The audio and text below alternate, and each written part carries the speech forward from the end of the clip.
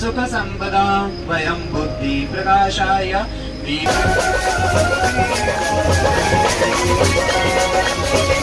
जय गणेश देव माता जगति पार्वती पिता। स्नमार्जनं भूयातः अतः विराज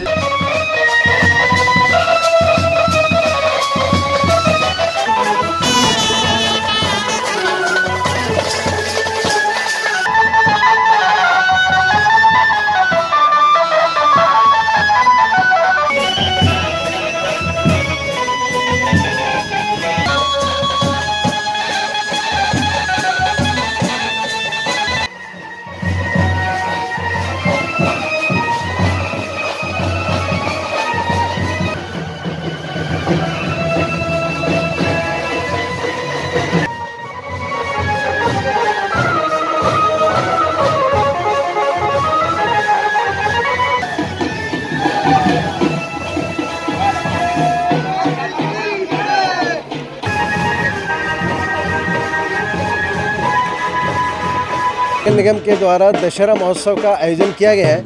इस दशहरा महोत्सव के आयोजन के तहत माता जी के पटेल मैदान के अंदर मूर्ति की स्थापना की गई।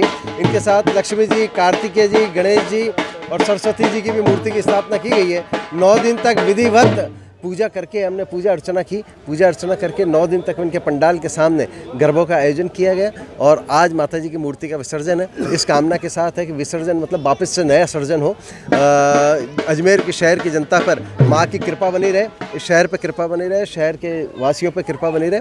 इस अरदास के साथ माता की पूजा करके आज यहाँ विसर्जन का कार्यक्रम हुआ आज पटेल मैदान में शाम को दशहरा महोत्सव के तहत रावण दहन का भी कार्यक्रम आयोजित होगा।